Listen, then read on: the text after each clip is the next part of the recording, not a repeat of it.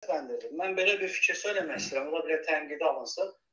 1918-ci ildə də, 1992-ci ildə də Azərbaycanda demokratiya, hakimiyyət formalaşanda niyə Atatürkün dövründəki kimi konstitusiya islahatını edib, o müxalifəti e, belə deyək də qanun çərçivəsində parlamentdə e, qorusaydı, e, sizcə belə bir vəziyyət, indiki vəziyyət yarana bilərdimi? Və ikinci bir sualım odur ki, indiki Ermənistanda olan o müxalif yönümlü o daşnaqlar var da, e, Arsak qondarma rejim.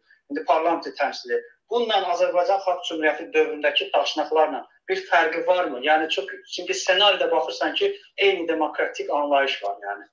Fərqli düşüncəli e, partiya e, müxalifətdədir parlamentdə.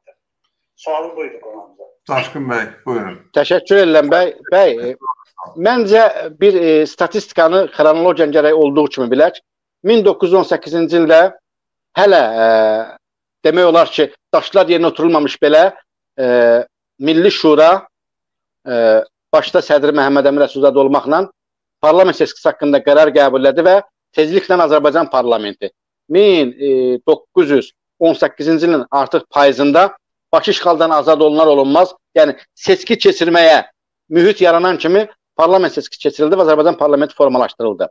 Amma o zaman e, Atatürk Osmanlının xarabalıq üzərində cümhuriyyəti inşa eləmək e, fikrində idi. Yəni imperiyanın xarabalıqlarında e, Atatürkün ixtiyarında 10 minlərlə zabit, onlarla general var idi. Amma Azərbaycan ordusunun imkan, o imkanları yox idi. Yəni Azərbaycan bir növ məhdud e, imkanlarla mübarizə aparırdı və eyni zamanda da həmin dövrdə də yenə erməni savaşı və sonra da Rus təhlükəsi boy göstərdi və bir çox hallar həmin dövrdə süqutu bir növ e, rəsmiləşdirdi. Başqa yol da yox idi. Çünki dünya Qafqazları və müəyyən e, maraq dairəsini artıq Rusiyaya güzəştə getmişdi.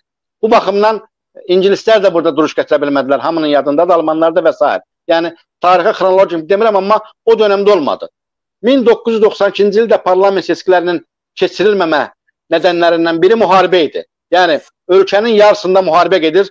E, necə biz o müharibə gedən əraziləri biz başqa yerdən ayıraq. Yəni biraz amma mən dəqiq bilirəm ki 1993-cü ilin payızında Azərbaycanda parlament seçkiləri planlanmışdı, qanun da qəbul olunurdu, əsasən də olunmuşdu. Bir dənə parlamentdən keçməyə qalmışdı və hətta müəyyən qədər namizədlərin müəyyənləşməsi prosesi başlamışdı partiyalar üzrə.